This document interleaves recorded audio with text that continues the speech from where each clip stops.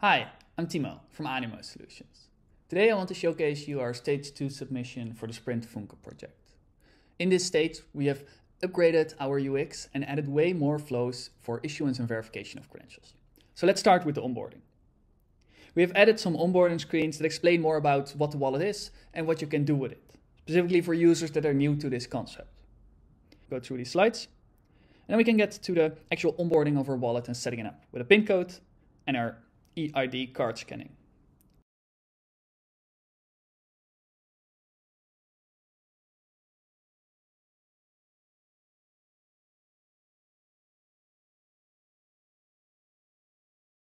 Now that we have set up our wallet, we'll get four credentials into the wallet. All trigger a different flow. We'll start with our Stir ID. I'll use our Funke Playground, scan the QR code, and can add the credential to my wallet.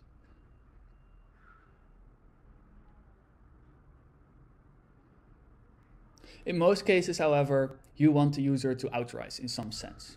There's three ways you can authorize in our wallet, all having a different flow. The most simple one is using a transaction code.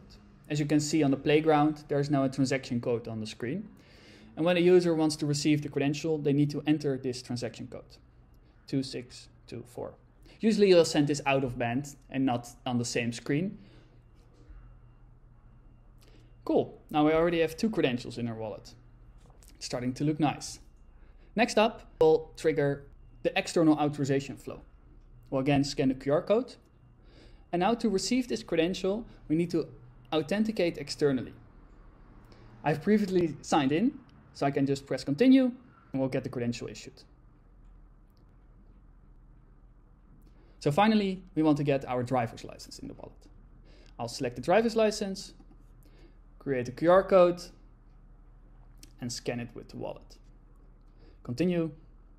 And before I can get the driver's license issued, I first need to present my PID credential.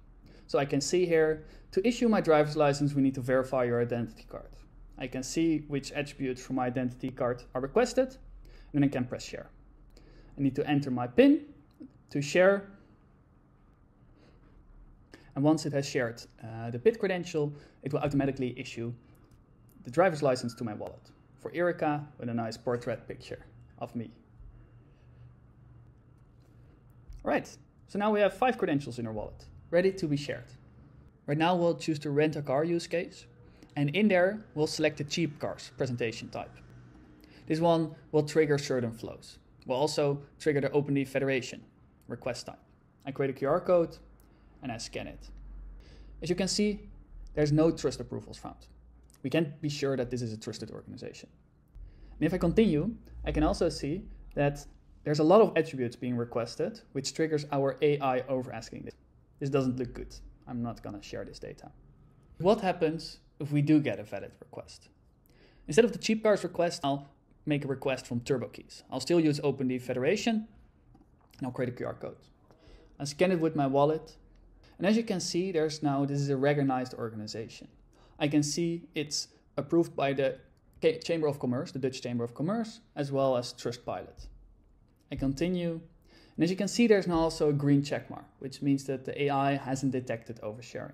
This looks good to me. I'll share it. I'll enter my PIN again. And we have successfully shared the data. The wallet, we can also see our previous activity. For example, you have the exchange here with TurboKeys. I can see which credentials have been shared at which time. But also, for example, that the sharing with cheap cars has stopped.